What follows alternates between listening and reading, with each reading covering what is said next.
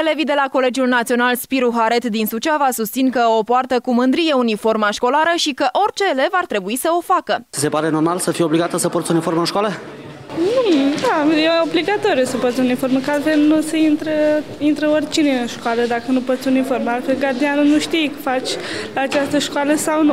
Eu o port din plăcere, nu este obligație pentru mine în a purta uniforma.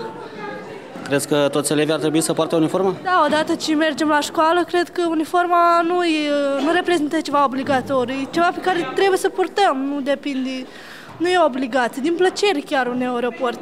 Nu consider o obligație, dar din punctul meu de vedere este ceva normal. Și chiar îmi place să port uniformă, pentru că doar în acest fel pot dovedi că sunt un elev. Crezi că în toate școlile uniforma ar trebui să fie obligatorie? Din punctul meu de vedere, da.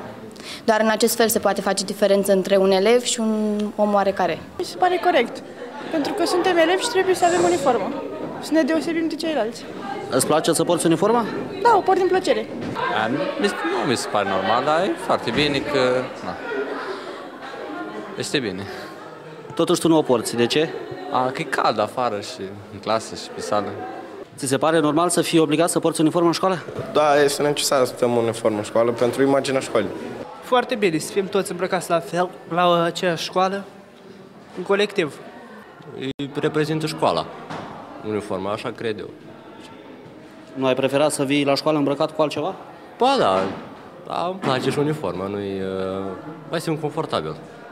Crezi că uniforma ar trebui să fie alegerea voastră, dacă să o purtați sau nu? Eu zic că da. Așa mi se pare, corect, să fie alegerea noastră. Crezi că faptul că purtați uniformă ar trebui să fie alegerea voastră sau a liceului? Păi, sincer, eu cred că asta depinde mai mult din noi, dar într-un fel e și un lucru bun, pentru că asta permite numai elevilor școlii să intre, o formă de identificare, știți voi. O porți cu plăcere sau din obligație? Obligație. Nu, nu prea întreabă cu uniforma, nu, pur și simplu nu-mi place. Asta depinde de stilul nostru, dacă vrem mai să o purtăm sau nu, dar dacă s-ar introduce mai mult cardul de identificare decât uniformă, ar fi mult mai bine, părerea mea. Porți uniforma cu plăcere? Nu. De ce nu? E, nu mi se pare cum o să stai tot timpul în sacoș. E mai lejer în cămaș sau pur și simplu un tricou sau ceva. Îți face plăcere să porți uniforma sau nu? Așa, așa, așa. Na, uniforma te pare, arăți a elev și nu a golav.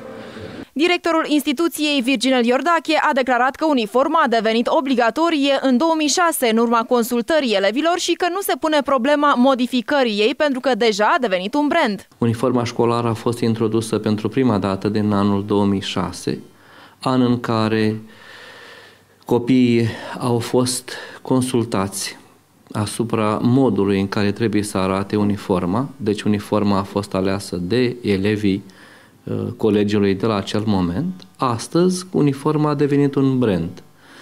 Uh, nu putem modifica în fiecare an uniforma colegiului pentru că ne-am creat deja un brand și modul în care arată elevii, eu zic că uh, este unul omenesc și aș putea spune chiar elegant. Virginal Iordache este de părere că uniforma are un rol educativ, asigură o uniformizare a elevilor și elimină extravaganța. Faptul că unii spun uh, că uniforma uh, ar fi o povară pentru copii, uh, alții spun că este o necesitate, acum părerile sunt împărțite.